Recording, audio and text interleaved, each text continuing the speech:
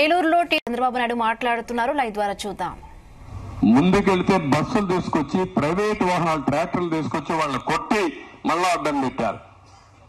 మనం తప్పించుకొని మళ్ళా వెళ్ళాం. అక్కడి నుంచి మళ్ళా ఒక వెహికల్ పెట్టి మళ్ళా నిలబెట్టాలంటే అక్కడ మన కార్యకర్తలు కొట్టే ప్రయత్నం కూడా చేశారు. అయినా కూడా నేను ఒకటే మాట చెప్పాను. సహాయ నిరాకరణ ప్రారంభించాం. ఏమైనా పర్వాలేదు అనపర్తిలో మీటింగ్ పెట్టి తీరుతామని మీటింగ్ పెట్టి సభ జయప్రదం చేసిన ఘనత మీది. అక్కడ ఇదే కార్యకర్తలు. మనస్ఫూర్తిగా అభినందిస్తున్న అనపర్తిలో చేసిన కృషి రాష్ట్రానికి ఒక చైతన్యాన్ని ఇచ్చారు ఒక స్ఫూర్తినిచ్చారు అదే ఈ రోజు అవసరం. ఆ రోజు మహాత్మా గాంధీ దండి మార్చి పెట్టకపోతే సహాయ నిరాకరణ చేయకపోతే అడ్డుపడ్డారని ఇంట్లో పడుకోనుంటే మనకు స్వాతంత్రం వచ్చేది కాదు. అందుకే నేను కూడా మిమ్మల్ని కోరుతున్నాం. న్యాయం కోసం పోరాడతాం. చట్టాన్ని గౌరవిస్తాం. ఎవరైనా సరే చట్ట వ్యతిరేకంగా మనం నిర్బంధించాలంటే కబద్దారు గుర్తుపెట్టుకోండి. మీ గుండెల్లో నిద్రపోతాం ముందుకే వెళతాం వెనక్కి రావు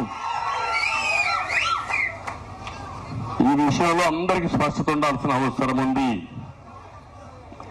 ఇంకొక విషయం మీరు గుర్తుపెట్టుకోవాల్సిన అవసరం ఉంది. ఈ ముఖ్యమంత్రి ఈ ప్రభుత్వం ప్రజలు ఎవ్వరు కూడా వ్యతిరేకించకుండా ఉండాలని చూస్తున్నాడు. అంటే ఎవ్వరు ఒక్క మాట మాట్లాడకూడదు. అందుకే చూశారు నర్సీపట్నం సుధాకర్ డాక్టర్ సుధాకర్. ఏంటి ఆయన అడిగింది? ఒక ఎస్సీ ఒక దళితుడు నేను సిద్ధంగా ఉన్నా.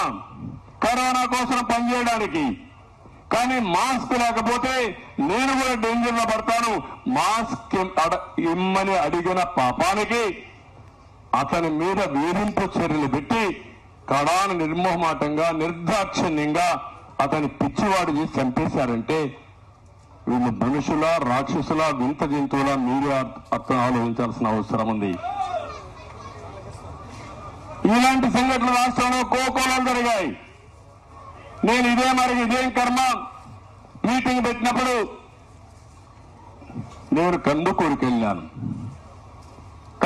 వెళ్తే ఏ పోలీస్ వ్యవస్థ అయితే పనిచేయాలో పోలీసులు పెట్టకుండా మన వాళ్ళు ఉత్సాహంగా వస్తే అక్కడ కొంచెం స్టాంపేట్ జరిగి చెప్తూనే ఉన్న పోలీసులు వెళ్ళండి వెళ్ళండి అంటే ఒక్కరు కూడా పలకకుండా ఉంటే స్టాంపేట్ జరిగితే కొంతమంది చనిపోతే అది అవకాశంగా తీసుకుని జీవో నెంబర్ వన్ తీసుకొచ్చి ఇంకా రాష్ట్రంలో మీటింగ్ జరగకూడదని బ్యాన్ చేస్తున్నామని కుప్పానికి నేను పోతే మీరు చూశారు ఎంత గందరగోళం చేశారు. నా నియోజకవర్గం నా నియోజక నా నియోజకవర్గంలో ఏడవసారి ఎమ్మెల్యేని. అలాంటి నియోజకవర్గానికి వెళ్తే అక్కడ మైక్రో మాట్లాడనీయకుండా ప్రజలతో కలవనీయకుండా ఎన్ని ఇబ్బందులు పెట్టాలో అన్ని ఇబ్బందులు పెట్టారు.